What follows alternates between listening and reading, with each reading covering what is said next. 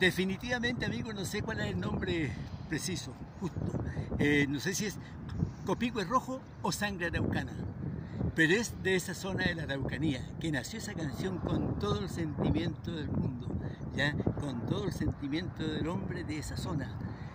Y, es nuestra, y son nuestras canciones que hacen que nosotros vibremos cada vez que lo escuchamos. ¿Por qué?